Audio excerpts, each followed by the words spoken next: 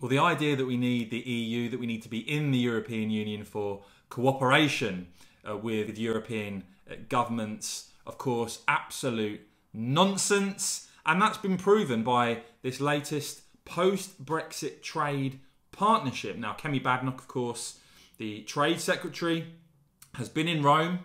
Uh, she says promoting UK trade and business, co chairing the first UK Italy CEO forum. And of course, I did a video the other day about the new Italian Prime Minister, Giorgia Meloni, currently being the most popular uh, leader in the EU.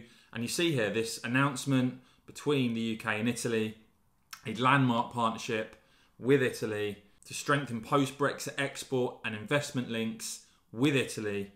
And Kemi Badenoch there commenting on this, saying this partnership marks a significant milestone in the UK's trading relationship with Europe and shows how an independent UK can benefit from striking ambitious trade deals with the world while also reinforcing our already strong and prosperous trading relationship with EU members such as Italy. And she says this partnership will boost trade and investment between British and Italian businesses, ease the path for valuable investment, and will crucially grow UK exports as we aim for our target of selling £1 trillion worth of goods and services a year to the world by the end of the decade. So there you are, folks. Uh, no EU involved there, just a sensible uh, deal between the UK, represented by Kemi Badenoch, and Giorgia Meloni's Italy. Uh, let me know what you make of that in the comments below. I will keep bringing you the very latest, so please do whack this video a quick thumbs up. And of course, as ever, cheers for watching.